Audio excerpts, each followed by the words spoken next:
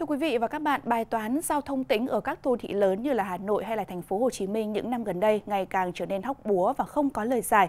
Trước nhu cầu về bãi trông giữ xe ngày một gia tăng như hiện nay, mới đây tại phiên thảo luận về dự thảo luật đường bộ, một số đại biểu đã đề xuất sử dụng gầm cầu cạn làm bãi đỗ xe.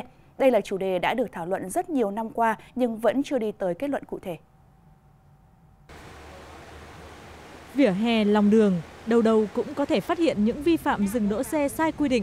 Thực tế cho thấy tại Hà Nội, quỹ đất cho giao thông tĩnh chỉ đạt 10%, 90% chỗ dừng đỗ là do người dân tự tìm. Để tìm được một chỗ đỗ xe phù hợp gần ờ, nhà với bọn tôi thì thực sự là rất là khó khăn. Vậy xung quanh thì gần như là không có các bãi đỗ xe nào đủ điều kiện an toàn. Nhiều giải pháp đã được Hà Nội triển khai nhằm giải quyết nhu cầu của người dân. Tuy nhiên những giải pháp này vẫn không thể lấp đầy khoảng cách giữa quỹ đất cho giao thông tĩnh và số lượng phương tiện. Ủy ban nhân dân cấp tỉnh quyết định việc khai thác sử dụng gầm cầu đường bộ phần không gian dưới dạ cầu cạn đối với các hệ thống đường bộ do địa phương chịu trách nhiệm quản lý, khai thác và bảo trì để làm bãi đổ xe, đường giao thông, kho chứa vật tư phục vụ bảo trì công trình đường bộ và các hoạt động khác phù hợp với điều kiện thực tế của địa phương.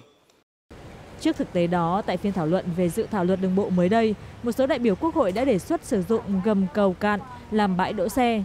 Theo các chuyên gia đô thị, việc luật hóa quy định này trong luật đường bộ cần hết sức thận trọng.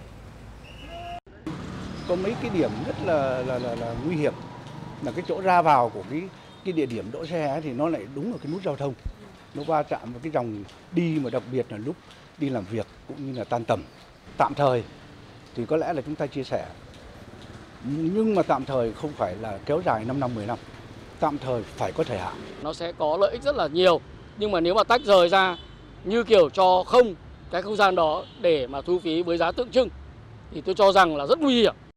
Không phủ nhận việc trông giữ xe dưới hầm cầu cạn có thể đáp ứng được phần nào nhu cầu cấp bách trước mắt, song phải có lộ trình thời hạn cụ thể đi kèm với thực hiện nghiêm quy hoạch phát triển giao thông tỉnh tại các thành phố lớn như Hà Nội và thành phố Hồ Chí Minh. Nếu không, việc quản lý hay phát triển các đô thị lớn lúc nào cũng trong tình trạng tạm thời chắp vá.